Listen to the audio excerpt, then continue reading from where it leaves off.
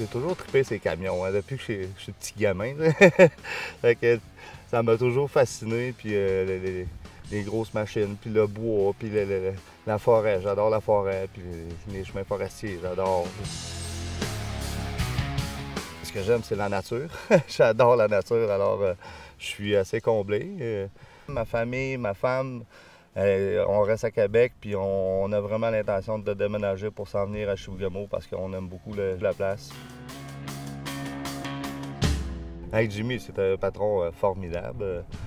Quand il nous arrive un avarie ou un problème, ben, il va toujours être là pour nous aider, puis jamais il va nous, euh, nous chicaner ou nous rabaisser. Non, c'est super, c'est vraiment exceptionnel.